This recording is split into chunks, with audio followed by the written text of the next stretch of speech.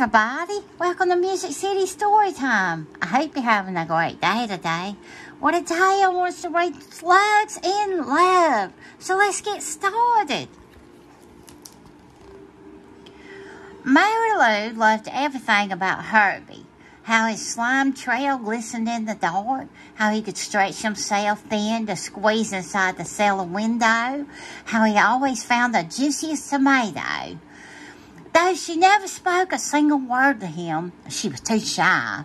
She thought about Herbie every morning and every night, and most of the hours in between.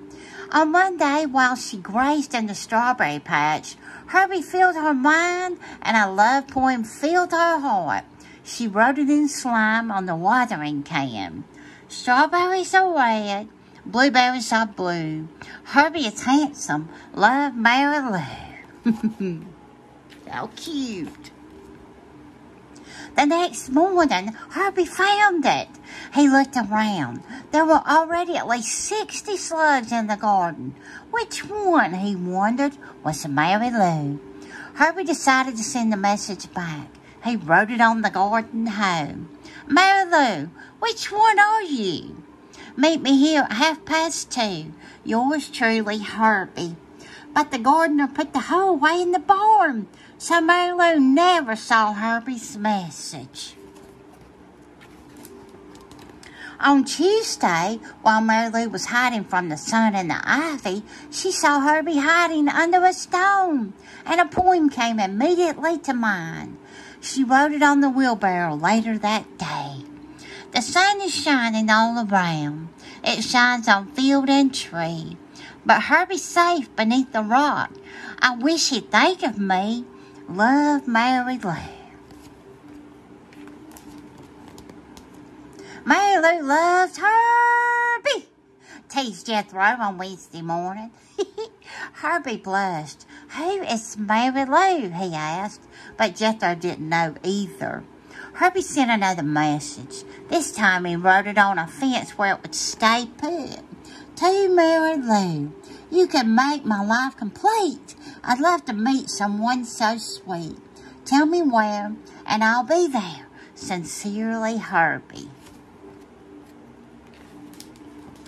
But that afternoon it rained, and his letter washed away.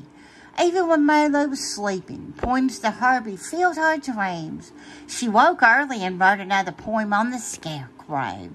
Twinkle, twinkle, little star, I wonder what you are. Herbie, Herbie, handsome slug, Mary Lou would love a hug. Love Mary Lou. that Mary Lou is some poet, said Sammy. Do you know her? Herbie asked excitedly. I think she's the brownish one, said Sammy.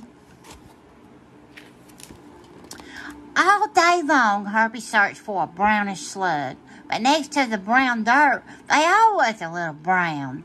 Herbie left another message on the watermelons. Your poems make me happy. Your poems make me glad. But I can't find you, Mary and that makes me feel sad. Your friend Herbie. Oh, we don't want Herbie to be sad. But Mary was in the squash patch that day and didn't see Herbie's note. She left another poem behind on the zucchini. Herbie, you would make me as happy as can be if you just pay attention and please, please notice me. Love, Mary Lou. Herbie was at his wit's end. He had been noticing her, well, her poems anyway and he'd ask everyone he could think of if they knew her. I think she's the greenish one, said Homer. I think she's the pink, pinkish one, said Joe Dale. Uh, maybe she's the one who likes tomatoes, said Adelaide. Us slugs like tomatoes, said Harvey, But Adelaide had given him an idea. Harvey climbed to the top of the tallest tomato plant. On his way back down, he wrote a message. Look at me. I've climbed so high that I can see the world passed by. Mice and ants and old black shoe. But Lou, where are you? I've left you poems near and far. Won't you tell me where you are? Love, Herbie. At that night, when Lou went out to snack on a tomato, she found Herbie's message glistening in the garden. What joy! What gladness! What delight! Mary Lou could hardly contain herself as she hurried to the barn. She was excited. The next morning, the first thing Herbie saw was, Your rhyme is sublime. Herbie dear, I am here. As always, when she saw Herbie, poetry filled Mary Lou's head. She said, Herbie, I am Mary Lou. We meet at last. How do you do? Herbie was tongue-tied. Suddenly, he felt shy. But at last he blurted out, I'm fine. Will you be mine? oh, how sweet. They finally met. Mary Lou and Herbie lived happily ever after. Oh, what a cute story. I hope you've enjoyed it for today.